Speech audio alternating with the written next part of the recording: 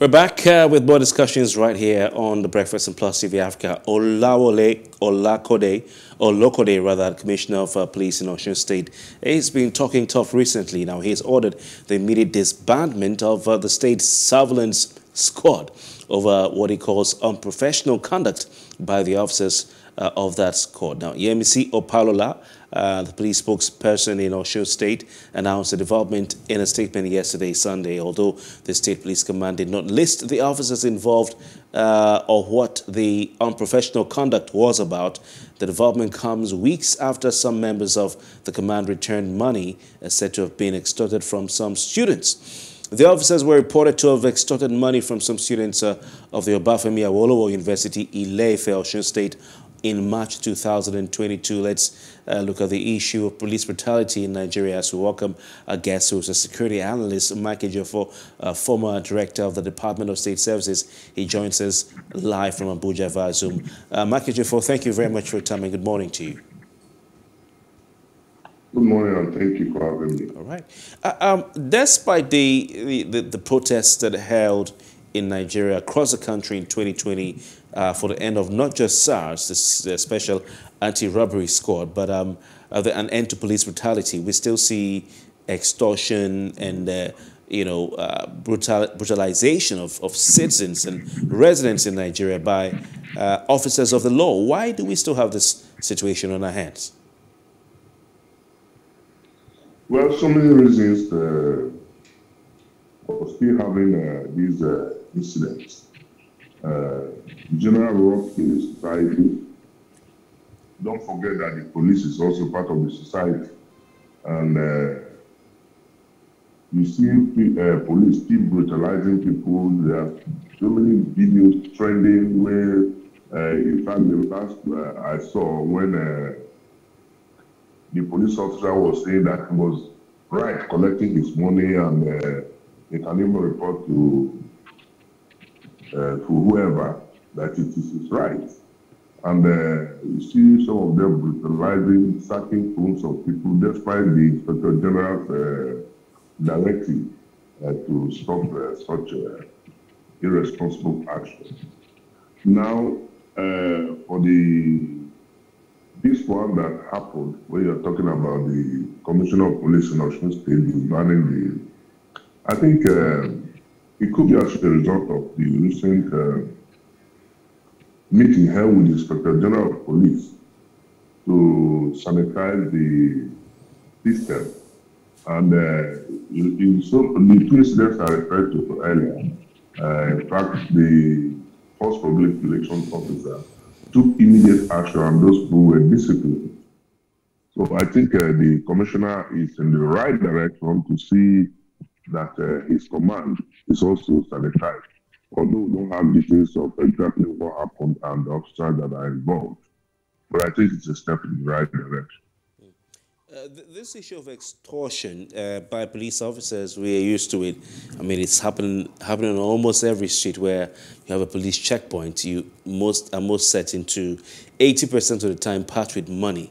If you're a commercial driver, or if you're a private uh, vehicle owner or driver, you may be packed over and one or two things may be said and they'll say, bring some money. Uh, does this in itself pose a security threat to Nigeria? For me, it's a security threat because if you go to between uh, Okene and uh, Auchi, for instance, I've said this in times without number. I don't know how police is going to handle that uh, that road. Traveling on that road is a nightmare. Even if you go to the southeast, it's a nightmare the way they extort money from people with reckless abandon. You see them collecting with a, a, a, distance of uh, not less than 40 kilometers. You have more than 10 checkpoints, some of them overseeing each other. So I think uh, with the new Force uh, public relations and the action we've been taking, something must be done. It's not only on those roads, because these roads are the roads I fly, and uh, it's a nightmare, honestly. I don't know how the police. And if you want uh, the people's confidence to assist you, the police, for instance, and if you need to harass them, there's no way you get their confidence. So it's a major threat to national security if uh, we don't have confidence of the police that is charged with uh, protecting you. You can't volunteer information. You suffer in their hands, and I think uh, the IG is uh, doing something about it to see that, especially before we get into election. Some have said, you know, that uh, this this this can Abacha, uh, former uh, head of state of Nigeria, has been quoted to say if uh, there's any insurrection in the country that lasts beyond, is it 24, 48 hours, it means that the authorities are complicit. For the police in the country to consistently, over the years, turn their security posts into a revenue collection point, uh, which you've said is a security threat to the country. Um, can this continue, Mr. Ejiofor? You're an experienced uh, security uh, uh, official, you know, of the highest uh, level. Can this trend continue without approval, complicity, you know, uh, uh, from the top of the police echelon? Well, I wouldn't say approval, so to speak, but I would rather say complicit in some areas. Some officers, senior officers expect returns from the uh, junior officers. And uh, if a senior officer is expecting uh, returns, there's no way he can be disciplined. But I think with what is going on now, we, it, it, it's a case of strict liability. The officer collecting the money has to face the consequences. I'm claiming that his officer uh, or senior officer uh, asking him to make, make, uh, makes a return cannot be a defense. So I think uh, the moment they begin to take action against the junior officers, the junior officers again will be discouraged from uh, taking uh, bribes from people or harassing innocent citizens. Uh, but you, you're saying that it's something new being done by the police IGP, and you know it's yielding results, like we're seeing some of them. But these these arrests are made because the, the people in question reported. I'm in Lagos right now talking to you. I can guarantee you that there are checkpoints around Lagos State where police officers will be collecting their daily returns from commercial uh, vehicle drivers. In Abuja, where you are, I do not know how it is, but I can. I'm sure that somewhere someone is going to collect money uh, for for doing his job. So, are, are you sure that things are changing? That there's anything the IGP has said that will change the situation? especially when we're talking about millions of naira being, being made on a daily basis. Um, we know we're aware of, of, of, of uh, directives by previous IGs about you know, roadblocks and checkpoints and all that. And after he says it, they give it a week or two, they continue doing what they usually do. So is, is this really changing? Well, you see, it's been uh, an endemic situation and been long in the system. So you don't expect it to change immediately or once and for all. Uh, you, the advent of social media, after the SARS uh, protest, and SARS protest, you can see that some policemen are even scared or afraid to collect money from people because anything you do now, people video it and send it to social media. So it's a way of uh, also helping the police to check and bring fish out the bad eggs. There are so many good police officers. You know, for Lagos, when they collect uh, money, I don't know about that. But in Abuja, you know, Abuja is quite different from uh, from Lagos. First, this is seat of power, and the transport system in uh, Abuja is quite different from the transport system in Lagos. It's more organized in uh, Abuja, and the, the way you have these uh, touts, they call the road, that uh, make returns to the police. But in Abuja, it's not like that. I think with time, we'll still overcome all these uh, situations. Apart from junior officers being punished, do you think the senior officers, for instance, the heads of the tactical unit, uh, maybe the uh, the DPOs, if not the CP of uh, the divisions where these officers are attached to, or their their you know unit heads, should also be punished, because you're saying there's somehow a link between the money being collected from the junior guys and the guys at the top. Yeah, the truth is that uh, since uh, the commissioner of police said uh, he's going to, an investigation had been instituted, definitely some people, both senior and junior officers, were indicted. So let us wait for the outcome of the investigation.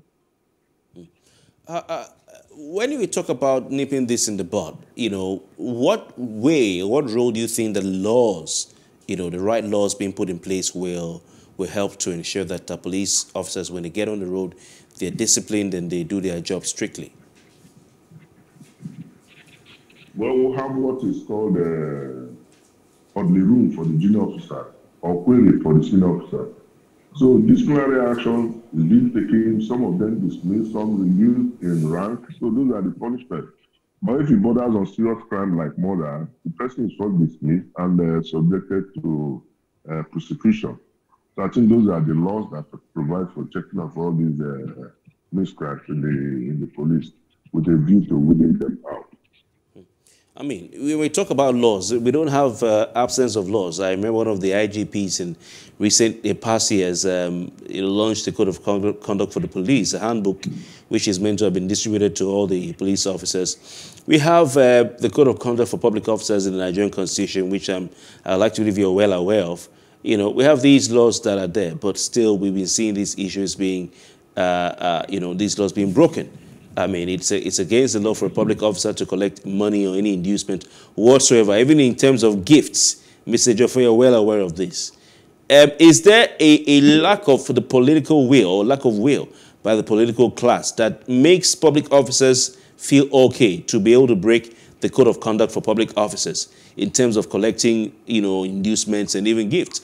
I mean, I do know a number of police officers who, when somebody, when they come in, maybe they come into an office newly, and the people in the area will gather themselves, maybe a market union, maybe traders union, you know, and all that. A professional body will go with some some gift to say, "Oh, please take. We want to welcome you."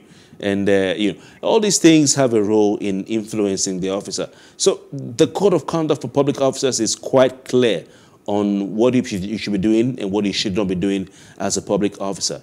Uh, but still, it's being flouted. Is there a role that the political class is playing? You know, that is sending a message to these guys out there in black and black to say, it's okay if we do it, we can get away with it.